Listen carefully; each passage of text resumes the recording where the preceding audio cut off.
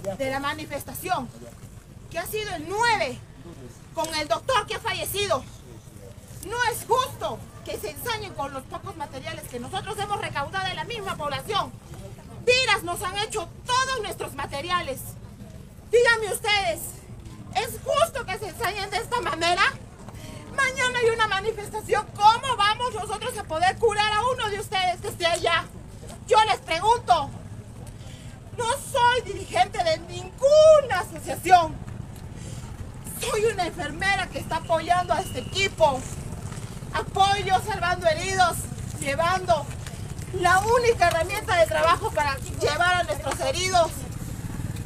Le han malogrado el tanque. Dígame, ¿eso es justo? ¿Es justo? Los policías, ¿quién lo ha hecho?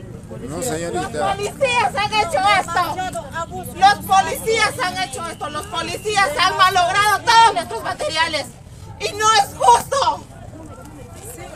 Mucho abuso, mucho abuso, mucho abuso, mucho abuso, señores, mucho abuso de la parte de la policía. Que llegue ahí a la, que llegue eso. Pero la prensa basura no informa de esto. Señores, un aplauso para esta gente.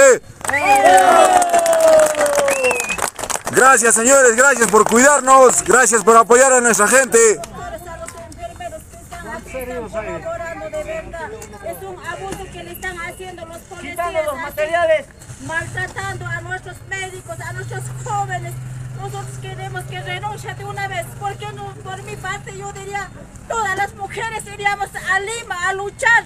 Porque la vida de nuestros jóvenes estamos entregando nosotros como madres. Debemos ir todos de un varón a Lima. Pura mujeres debemos luchar. Como somos puneñas, así polleras.